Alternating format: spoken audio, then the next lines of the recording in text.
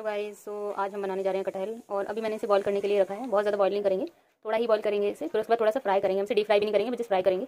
और आज जो रेसिपी मैं बनाने जा रही हूँ, ये मैं अपनी सासू माँ से सीख कर आई हूँ गाँव से। अभी ये फ्राई कर लेते हैं। ये हमने बॉईल कर लिया, हो गया एंड अभी फ्राई कर लेंगे इसे। फ्राई इतना करना है कि ये गल जाए मतलब इतना हो जाए कि खाने में ना, एकदम बहुत ज़्यादा भी गले ना। तेल हमने इसमें ज़्यादा ही डाला, थोड़ा ही डाला। तो ये फ्राई हो गया है। निकाल लिया है सारा कटहल। अब इस तेल में हम ये कुछ खड़े मसाले मैंने निकाल लिए हैं, ये। और थोड़ा सा ये मैंने धनिया निकाल लिया है, साबुत। इसको हम इसमें ये मिक्सी में डाल के पीस देंगे।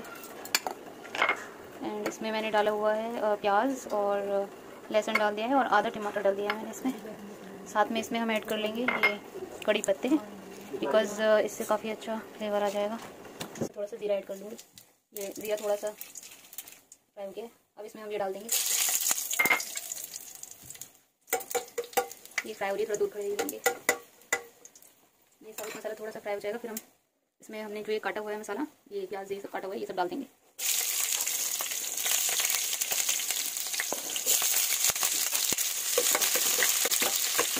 थोड़ी सी इसको हम बढ़ा लेंगे क्योंकि मसाला जल्दी फ्राई हो जाएगा। प्याज हमने इसमें ऐड कर दिया, प्याज थोड़ी सी ब्राउन हो जाए। ब्राउन होने के बाद इसमें टमाटर ऐड कर देंगे। और इसके साथ में हमने जो ये मसाला ग्राइंड कर लिया है, इसे हम इसमें ऐड करेंगे और साथ में हम बना लेते हैं अभी मसाला डालने के लिए। तो इसका मसाला हमारा फ्राई हो रहा है, उसमें हम ये थोड़ी सी कश्मीरी लाल मिर्च ऐड कर लेते हैं। ज़्यादा नहीं डालेंगे, बहुत कलर हो जाता है। और ये हमारी तीखी वाली लाल मिर्च जो होती है, वो ऐड कर लेंगे। मैं थोड़ी ऐड करूँगी क्योंकि मैं इसके बाद ये गर्म मसाला ऐड करूँगी क्योंकि गर्म मसाले से जो है काफ़ी अच्छा फ्लेवर आता है। और इसमें हम डालेंगे ये हल्दी। ये आप जितना कटहल बना रहे हैं, उसके अकॉर्डिंग डालें, मैं आधा किलो बना रही हूँ। एंड अब इसमें ये हम धनिया ऐड करेंगे। धनिया थोड़ा क्वांटिटी ज़्यादा रखें, क्योंकि इससे ग्रेवी बनेगी और इससे टेस्ट भी आएगा। काफ़ी और थोड़ा इसमें भी नमक डालेंगे बाकी बाद में हम नमक डालेंगे। तो ये इतना काफ़ी है, इसको हम इसमें थोड़ा सा पानी ऐड करके रख देंगे, जिससे कि मसाला थोड़ा सा फूल जाए। और फिर हम, हमारा जो ये मसाला फ्राई हो रहा है, अब हम इसमें टमाटर ऐड कर देंगे।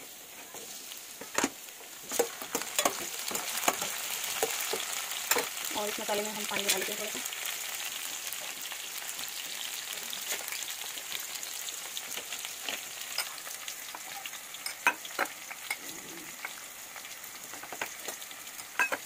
मसाला हमारा फूल जाएगा। मसाला हो गया रेडी जो मसाला हमने ग्राइंड किया था, वो मैंने इसमें ऐड कर दिया है और अब इसको फ्राई करेंगे। अच्छे से जब फ्राई हो जाएगा, तब फिर हम ये जो मसाला हमने बनाया हुआ है, इसको ऐड करेंगे और इसे हम फ्राई होने देंगे।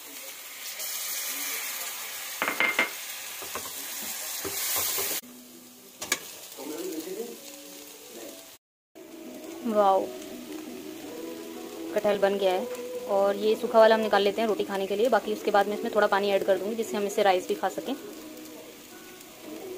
ये देखो, और बहुत ही अच्छी खुशबू आ रही है, एकदम लाजवाब। चिकन जो नॉन वेजिटेरियन है, वो तो खा सकते हैं। जो वेजिटेरियन है, वो भी खा सकते हैं। बहुत अच्छा टेस्ट आएगा इसका। मैं खाने के लिए निकाल लिया है कटोरी में, और इसमें हम पानी ऐड कर देंगे।